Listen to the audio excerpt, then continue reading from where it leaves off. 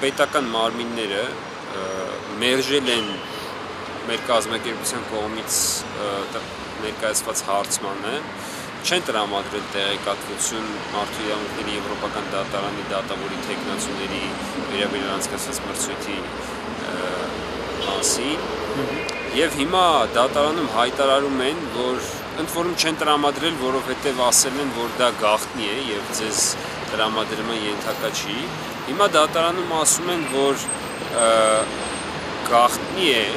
բայց ամենակարևորն այն է, որ մենք չենք տնորինում այդ տեղեկատվությանը։ Դա եւ արդարադատության նախարարության դիրքորոշումն է եւ արտգործ նախարարության դիրքորոշումն է, ինչը մեր կարծիքով չի համապատասխանում իրականությանը։ Այն པարզ պատճառով, որ օրինակ նախորդ դատական նիստով արտգործ նախարարության ներկայացուցիչը դեռ մի այսպիսի զարմանք էր արտահայտում հետևյալ բովանդակությամբ, բայց չէ որ ձեր կողմից պահանջված այդ խորհրդատվական խմբի զեկույցի մասին մենք արտահոսք ենք տվել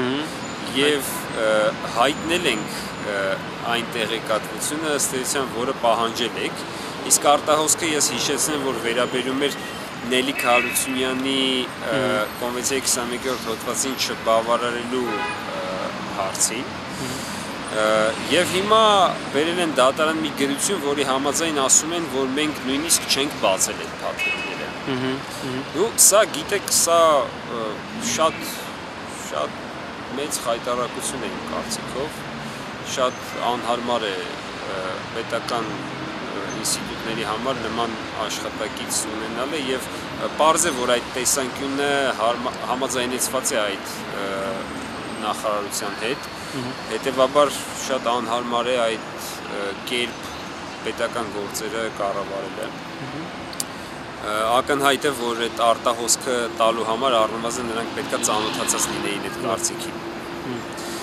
Մնացած մեկնաբանությունները կարծում կամ հետևությունները արդեն ունկնդիրը կանի,